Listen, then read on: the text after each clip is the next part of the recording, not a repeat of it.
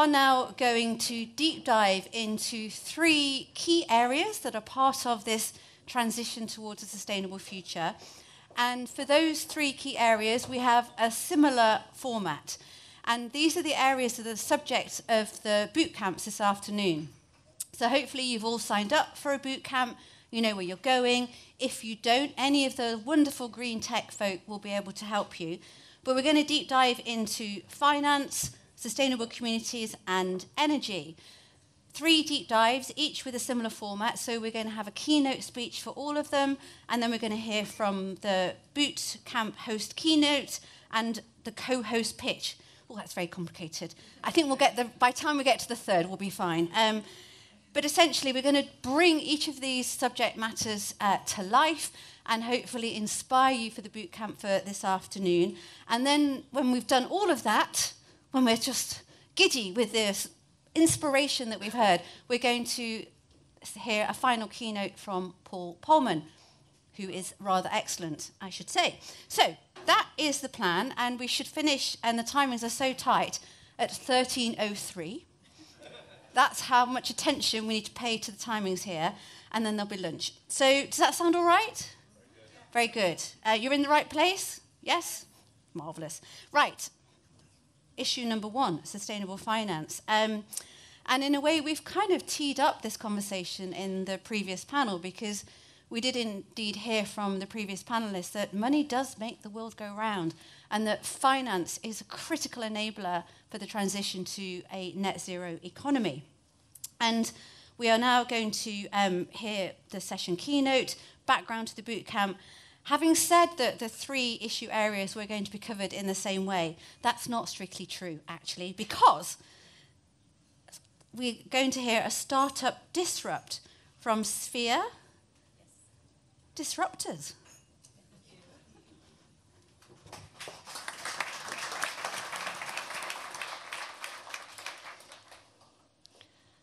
Hello, I'm Svea Fina and I'm the co founder of Dekarbon. Really happy to be here. Co uh, Dekarbon is one of the rare startups featured by the Greentech Festival, so thank you so much for giving us the opportunity to be here and invite you all on our journey. It's a journey through the current climate finance jungle on a mission to change the carbon removal market. How? We are a blockchain solution for high quality carbon credits. Why are we building this? After taking a deep dive on the uh, research back deep dive, I'm a bit excited because it's my first time presenting this topic and this project. Thank you so much. After taking a, a research back deep dive on car, um, carbon climate market and the climate finance market, we know something has to change. To reach our goal to go no global net zero, the shout for disruption is evident after talking to an immense, insane amount of companies, we know there is a great demand for, first of all, high quality climate projects as well as bleeding edge technology. So it's about the quality of the climate projects and the carbon credits as well as the technology. Speaking of, I bet many of you have been faced with the challenge of reducing, offsetting, your CO2 emissions. You're not alone. It's topic number one on government's desk, and they even committed to increase their uh, commitments in terms of reducing emissions. And second, we heard it also yesterday from Audi, thousands of companies, asset managers, suppliers want to go net zero by 2050. For instance, our home country, uh, Germany, 2045. What does this all lead to? Basically, carbon markets been, have become the next big thing and are poised for growth. Already in 2030, it will be a $1 trillion market. But there's a problem. It's not running as smoothly as they should, and their integrity has been put into question. Greenwashing and the lack of transparency are key investor and regulatory concerns. This is because the market is characterized by a large number of intermediaries, low liquidity, and inadequate risk management services. This led for companies to high transaction costs and low transparency. I mean, we found projects where only 5% ended up in the climate projects. I mean, 5% of the investment spent end up there, and 95% without any positive impact on the climate. Let that sink in. We think this shouts for disruption. We want to change that. We want to make sure that the invested dollar end up in the highest climate projects around the world, make the biggest impact. Let me introduce you to Dekarbon. We believe that by using modern digital technologies like blockchain and the upcoming Web3 revol revolution, we can not only reduce transaction costs, we can create transparency. We want to create an infrastructure which sets consistent standards for carbon credits and carbon removal projects to have a win-win for companies, investors, suppliers, society, and the planet. We think that by using and want to make sure that by using our technology, that we can provide more transparency, more traceability to the market, we can cut out all the intermediaries, and we are building this on a very modern Web3 blockchain solution supervised by the German regulator, BaFin. To sum it up, Dekarbon is the solution to increase the value of carbon credits while uh, reducing the transaction costs. So if you're an investor, like, or no, if you're a company trying to buy um, and to, to buy carbon credits to offset to hedge against future uh, price increases, or if you're an investor, talk to us at Dekarbon. We're just building the solution. Thank you so much.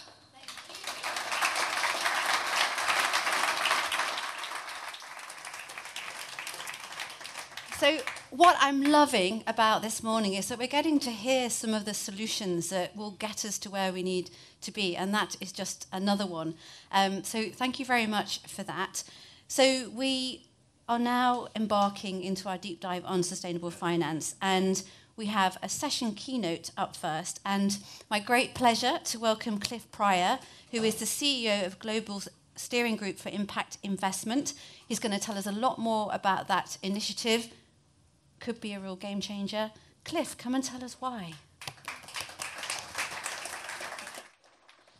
Thanks very much. And oh gosh, this is different to a Zoom call. Um, I don't see any cats or children sort of running around. It's, uh, it's quite different. So thank you very much indeed. Thank you for all that you're doing uh, for the future of sustainability.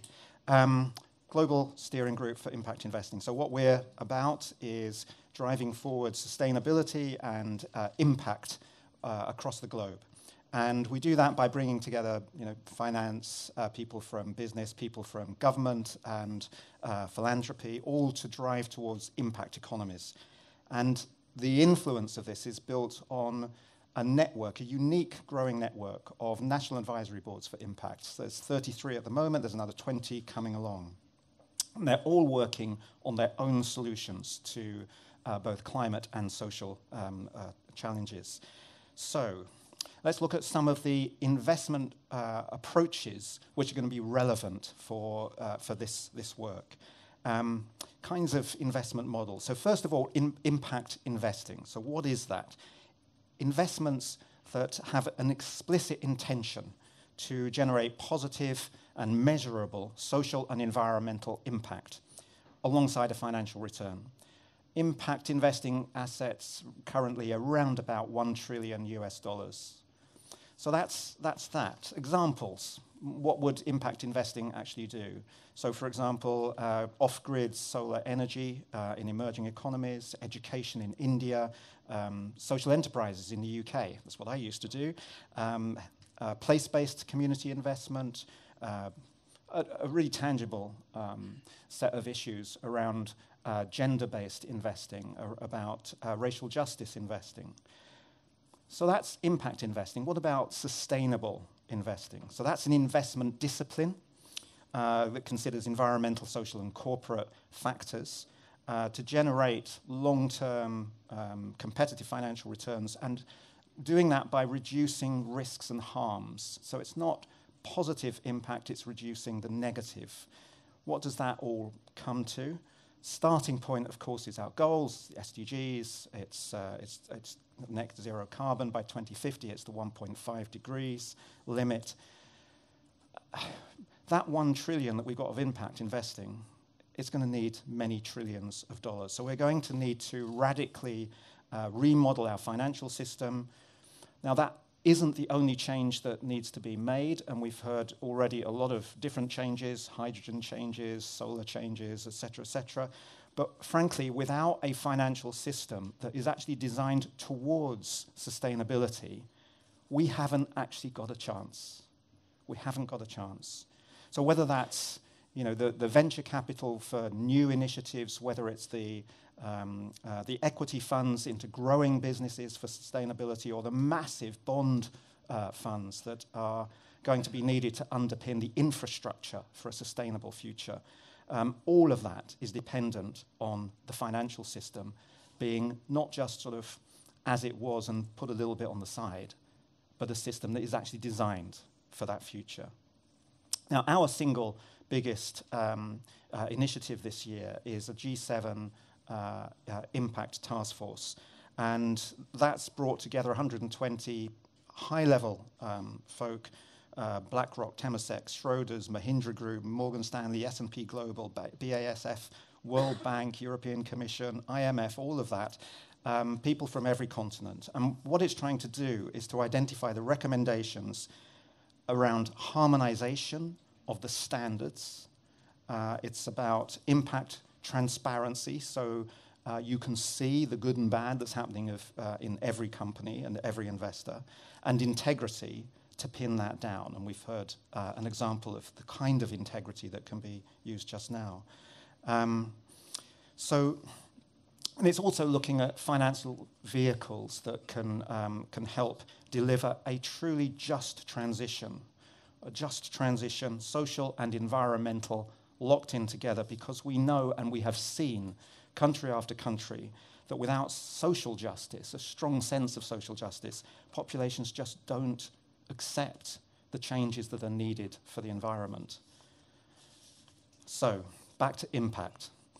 Impact investing started off with uh, very dedicated investors doing small scale investments into social enterprises.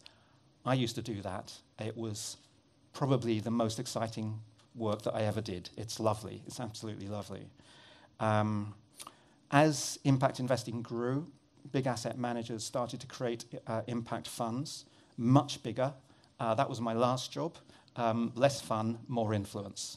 Definitely more influence. And now we're looking to use some of the impact measurement and management tools that we've developed over the last 20 years for, for impact to examine the positive and negative uh, impacts of all investments, whether they intended to do good or not. Let's just see what they've actually done, the positive impacts and the negative impacts. Now, why are we doing that rather than just trying to grow impact investing, which we know is intentional for people and planet? It's wonderful. Impact investing is, you know, it does the tough social and environmental challenges. It breaks through new, new areas. It's dedicated to the lives of, of people and, and planet.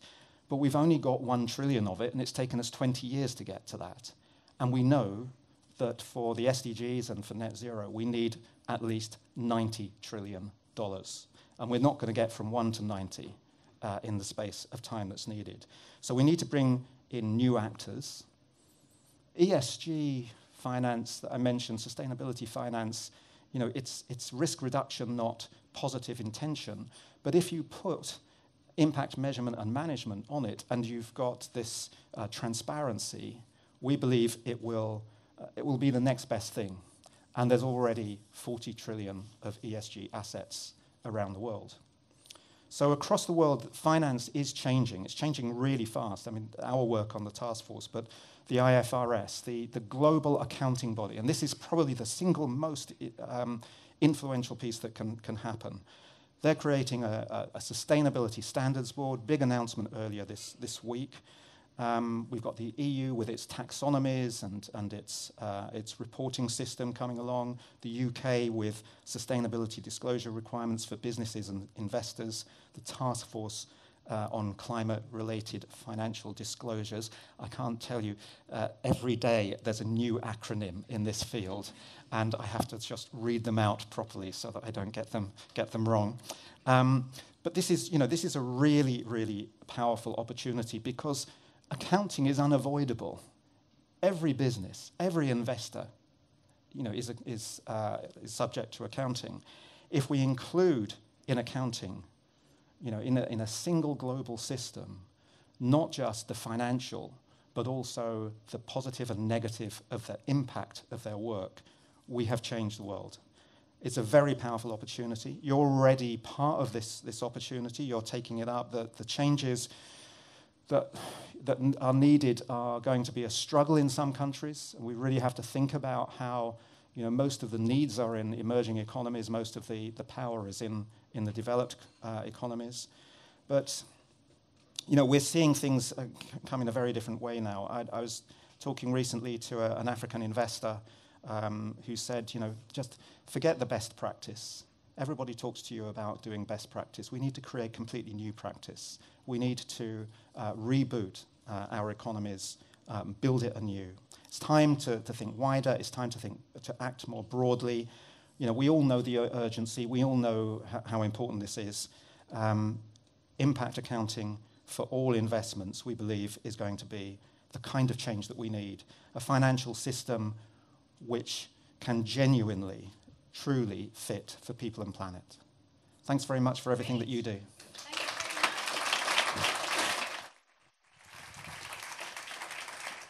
Thank you, Cliff. So you heard it here first. We can rethink capitalism to serve society and the environment. Hurrah, that's what needs to happen. We are now going to hear from the boot I'm having trouble with boot camp this morning. Boot camp host keynote. Um, David Durlacher, CEO Julius Baer. Oh, there you are. So glad you're here. Um, you're now going to make a pitch for the boot camp in six minutes or so. My goodness, that is quite a that's quite an ask. A six-minute pitch for the boot camp. Um, uh, well, that's a, a, challenge and a half, and I uh, have, like a number of people, been following COP, uh, and these past few days have indeed talked a lot about tipping points. And I think probably next week we will hear more about tipping points. Maybe we will have a few tipping points uh, this afternoon in the boot camp uh, if you join us. Um, but the boot camp uh, focus is really on sustainable finance.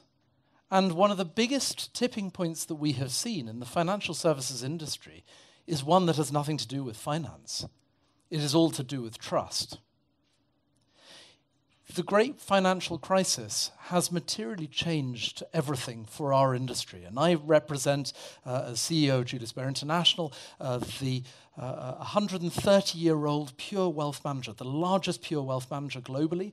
Uh, we operate around the world just looking after some of the wealthiest in, so- in society. So, why do I mention trust? Because something that really worries me starts with a trend that we have been seeing for a number of years. Uh, since the financial crisis, and that is that people are losing their confidence in my industry. Probably there are some people in this room that would argue exactly that. And a recent study indeed showed that 70% of millennials would rather go and see the dentist than talk to a banker. Priorities are shifting. And I think the old adage of greed counts, profit above anything else, that is a, an adage that is long going. And if anything, trust has been eroded where those priorities have been forgotten. What we have seen is a change in priorities. And so, similarly, uh, it is of no surprise to me that 95% of millennials now are interested in ESG investing and are two times more likely to invest in a company that has good ESG principles in it. These may be an up and coming generation. What about the established generation? Well, things are changing there too. Uh, again, studies show that 67% of high net worth investors, people with more than a million quid in the bank, 67% are increasingly interested in sustainable investing.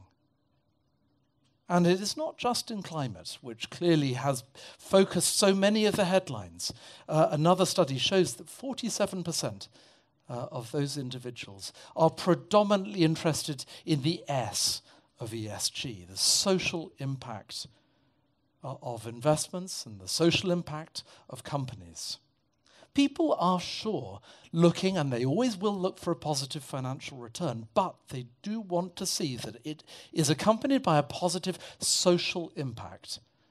And that social impact, that societal impact, has to consider more than just simply finances values based decision making is of increasing importance. And that values based decision making is going to become more than just simply a niche for the converted. And I would probably argue that most of us in this room are converted already.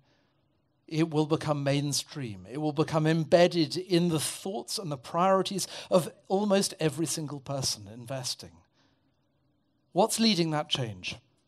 Yes, governments, governmental bodies. We've heard a lot about government pledges, whether they involve India or South, South Africa and coal promises. Uh, maybe they're government bodies. The UN Principles for, for Responsible Investing, uh, established a number of years ago, nearly two and a half thousand companies, uh, most of them investment managers like Julius Baer, have signed up to those UN Principles for Responsible Investing. What's driving the change? Maybe it is regulators, uh, accounting bodies, as we have just heard, setting a new standard, a new series of expectation on the industry and on finance in general. Maybe they are driving um, uh, a change to, to tackle greenwashing, to make sure that people have confidence in what they're doing and confidence in the advice they receive. Maybe it comes through financing and probably that is the expectation for those coming to the boot camp this afternoon, that financing holds all the answers. Um, indeed, green bonds have been around since 2007, and green bonds have proved immensely successful, but the gap is immense. Green bonds only account for 1% of the bond market globally. And the demand is unbeatable. The IFC says that 29 trillion is needed in order to finance the climate related ask for emerging markets alone. And the International Energy Agency says that 13.5 trillion is needed by 2030 just for the energy sector. Well, green bond issuance last year only accounted for 350 billion. It is not going to go enough in order to be able to meet the needs of, uh, of that shift in climate expectation.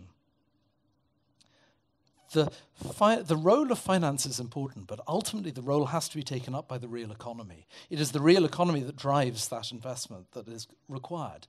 And sure, accelerators such as direct impact investing or private equity, they're important. They fuel innovation, they fuel disruption.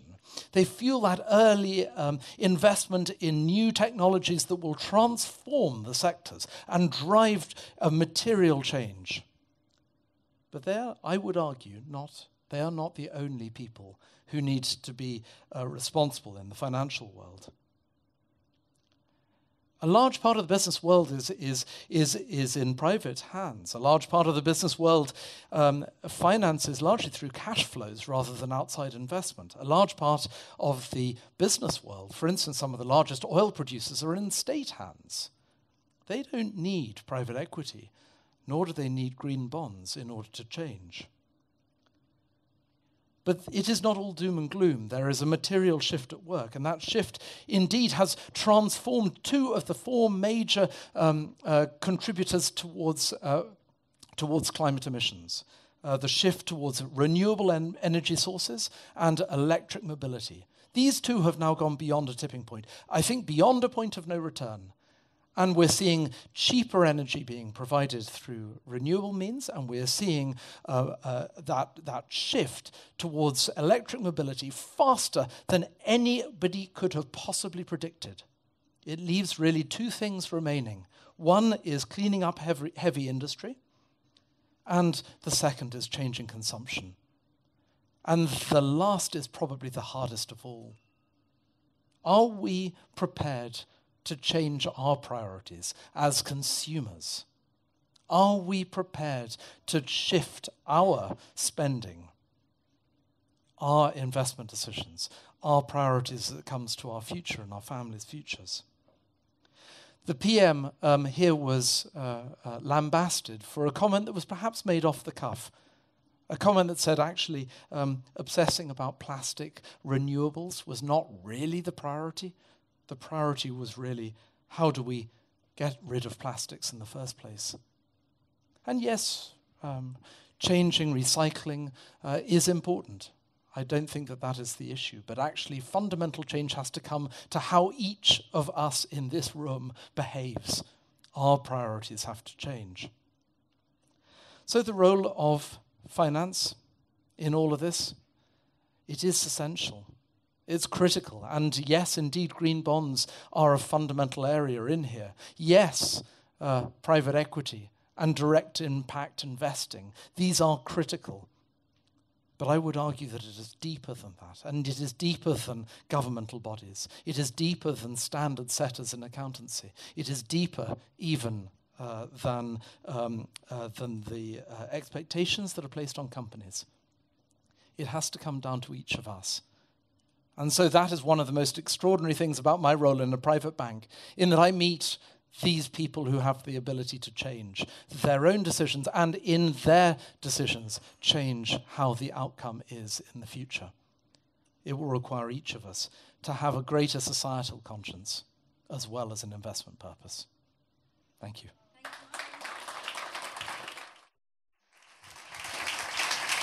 Thank you very much. Thank you. Um, on that note, if any of you have got a pension, do you know where that money is invested? And if any of you have got a mortgage, can you speak to the credentials of the person that's lending you the money? These are the things that we can all do um, to influence the system and influence the real economy. Thank you very much. So now we have two further pitches for the Finance Bootcamp by two co-hosts. They have five minutes each. Five minutes and I might just come and sort of loiter here if you go over a little bit. Um, first up, first co-host pitch is from Michael Sheren, Senior Advisor to the Bank of England. The floor is yours. Thank you very much. It's been an extraordinary morning, and you've heard from some very, very informed and talented people. And I think those of you that are interested in coming to the Finance Boot Camp, we can help pull together a lot of what you heard today. So Dimitri talked really well about some of the economic drivers. And one of the things he was talking about was regulation. Well, regulation is not the sole answer, but it's, he got a really key element, and that's incentives. What are the incentives? Because you, you've been asked here to, to change your consumption, your behavior, but large businesses trying to understand what drives their incentives are very unique. So if you think about what is the primary problem or driver around climate change, it's carbon. There's a whole slew of other issues around plastics and things of that sort. But let's start with carbon. This glass here was made probably at a factory that possibly used coal to generate its energy. In economic terms, coal is a free riding negative externality because it's not included in the cost of this glass. Think about that fancy word as nothing as bad stuff. Bad stuff is then this glass probably got put in a plastic crate that it didn't have a return policy on it. It got shipped in a diesel truck, which put all kinds of particles into the air, and a little girl in South London died because of those um, last year. So these, all these free riding negative externalities are in the consumer products, in your home, in every part of the economy, and there are not any hard incentives for the real economy to change these. Now, my pitch is two. One is that we need to get incentives to get these out of the real economy. And my pitch for the boot camp is finance is what can help them do that. So if you're the company that makes this glass, you need to change your business model. And you change your business model through capex and R&D. You come up with how can I make this glass with either net zero or absolute zero carbon? How can I pack it? And the gentleman who was up here with the seaweed um, plastic put it in his container, put it into a hydrogen truck, and drive it. And incentives are absolutely clutched. Now, the IMF came out with a paper in June. I know it makes your eyes roll up, the IMF, but it was a very important paper. And they said, look, at we need to put a carbon tax on large companies. So imagine every single company in the world, for every ton of carbon they generated, had to pay this year 15 bucks a ton, stepping up to about 130 a ton by 2030. The OECD says that's roughly the right number. The Bank of England does as well, and moving it. That's a real incentive. So if you're asking a banker who gives loans or underwrites um, acquisitions about a company, all of a sudden they're going to add a new cost line because when you're trying to figure out what the cash flow is, you make your loans based on cash flow. Well, your cash flow is how much money you bring in less your expenses. All of a sudden, you're going to have a line in your expenses for carbon. And you might even at some point have one for water, for plastic, and all of these other bad stuff or free riding negative externalities. By the way, remember that word. It's a real impressive one that's really key to this whole thing. How do we drive it? And my banking colleague here is looking at me going, yep. So if you have to go, and, and if you're doing this, there's a group area of the, balance, of the uh, cash flow statement called COGS, cost of goods sold. And so if you've got a line in your COGS that says carbon, and you know exactly how much the company generates a year, and they know how much it's going to cost them, when you subtract that from their cash flow, you might have a negative company. That's how you influence change, because in, you know, basically incentives are both positive and negative. That's a good crack on the head, but right now we don't have the ability to do incremental change. A lot of the stuff you heard at COP was fantastic and would have been perfect for COP 2000, well, let's even go back basically 1990. There wasn't a COP back then, by the way. That's what it is. That's an incremental change. We're past incremental change. So the only way you're going to change the companies is through finance. The real economy needs to have incentives to do it, and the banking industry and the finance industry need to provide them with the capital to do it. That is my pitch for the Finance Bootcamp. Come and see us, and we'll try and figure out how to do that together. Great. Stay there. Stay there. Stay there. Um, million dollar question. How far off are we from pricing in those externalities? So far off, it's not funny. And here's a dirty little secret.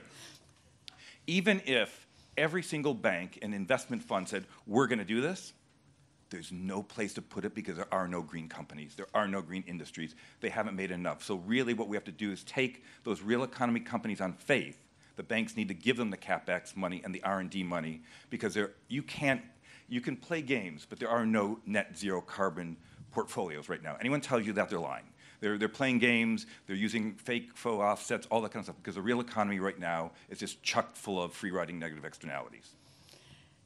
Oh, I knew you were going to say that. So now, so now, now, no, we kind of need to just go up a little bit. Um, so, what would be the first signal that we're starting to price in those externalities? Can you point to something that's emerging that gives you cause for a little more accelerated progress where yes, we need to get yes. to be? Well, Cliff brought up one of them, and, and, and I think Nico did as well, and that's just really taking a look at the electric vehicle market. Five years ago, if I would have told you that General Motors was going to commit by 2030 to have a complete fleet of electric vehicles, Ford, um, Audi, Volvo, Yeah. you would have never thought that. So that's a visual one. But if you're trying to keep score here, keep your eyes on two things. One is coal, because that generates the most amount of carbon that goes into the air, and the other one is trees. So basically, if we're not shutting down and substituting, because we can't shut down coal plants and leave people without energy, so we need to do those renewables. So a lot of that money needs to go into renewables. So shut down coal and keep trees in the ground. Because if you don't do that, everything else, even the EVs, is moving deck chairs around on a sinking Titanic. Great. So rapid decarbonisation, rapid carbon sequestration. But last thing, positive thing, All the opportunity here is the alpha opportunity of a lifetime, and that's what I love about this event because you see the new economy Yeah. today. And we need to price in that beta. Off you go. There you go. Oh, I don't know why I need that. Um, anyway, I've now got two microphones. Um, so the last pitch from the second co-host is Duncan Grierson, founder and CEO of Clim8 Invest. It's Duncan. Oh, it's not. It's not. That's what it says on here. It's Andrew Cocker from Clim8. Thanks. Uh, so Duncan sends his apologies. He's been up at COP, uh, otherwise known as the Super Spreader event, for the last two days, and he got pinged by the Track and Trace app. So he's now self-isolating. So you've got yours truly uh, for the next four and a half minutes. So I'm Andrew Cocker. I'm the Chief Marketing Officer at Clim8. And uh, put very simply, for those of you that don't know, Clim8 launched about six months ago. It is an investment app that allows you to invest in a portfolio of companies that are all designed to um, combat climate change. So this isn't an ESG. This is a, about as far away as you can get from ESG. This is positive climate impact. Oh, I've just gone. Uh, there we go. Okay, so what is the context? Everybody in this room knows the context. Uh, we're, we're living in a world where climate change is rapidly increasing. And alongside that, uh, this report from the British Medical Journal uh, just a few weeks ago uh, suggests that there is now a massive also rise of eco anxiety. And it's starting with young people, but it's across every single demographic now. And what's uniting people is this, this need to get involved at a personal level because people are tired and fed up of the governments and the companies that aren't doing their jobs. So now people are looking around saying, what can I actually do outside of changing my, uh, changing my car, putting solar panels on the roof? I need something else. And that's why uh, we've launched this business to look at climate impact investing. Now, there's a growing body of research. Uh, th- this particular example here was from Nordea Bank uh, that suggests that in, uh, investing into climate impact areas uh, is 27 times more impactful than doing the normal behavioral changes that you are used to, uh, used to doing, whether it's plant-based diet, flying less, electric cars, etc. So that's that's an enormous uh, disparity in what people currently believe, uh, which is a real opportunity for us. And indeed, it's not just a, a strong opportunity for um, impacting the climate; it's also a massive opportunity to impact your wallets because this quote here from Al Gore: "Combating climate change is not just your generation's life or death struggle." but also the single biggest investment opportunity in history. And that's because the companies that are operating uh, at the cutting edge, at the vanguard of, of all these incumbent industries, are, are slowly but surely getting them out of the way and, and rising to the top. Here's the elephant in the room. We've talked a lot about ESG uh, in, in the last few examples, in, in the last few presentations. And I, I'm afraid to say ESG is part of the big problem here. So this, this expose by The Economist recently looked at the top 20 ESG funds in the world. And in those top 20 ESG funds were 17 fossil fuel companies. 17 gambling companies, booze, tobacco. So this is the real problem. People don't know what they're investing in. They're ticking a box thinking, I'm doing some good. I'm, I'm going to I'm gonna put some money into an ESG fund. And all this bad stuff is lurking in there. Uh, so we think this really needs to change. Um, thankfully, the debate is starting to move on. And uh, in the business press, we're starting to see more and more stories now appear. It's going to get into the mainstream press as well. Uh, sadly, there, there, is no, there is no vaccine for the climate change problem right now, but there is an antidote to ESG and the nonsense that is ESG, which is let's build a new category of climate impact investing. And let's be really, really transparent about what you have to do in order to be able to have a company that is classed as climate impact investing, because this is what people want. Now, um, in the previous talk, we talked about you know carbon, even in a glass of water. Carbon is absolutely everywhere in our clothes, in our water, in our in the way we travel around the world. So, climate has six different themes that we invest in: from smart mobility, clean technology, circular economy, food, um, clean energy, and clean water.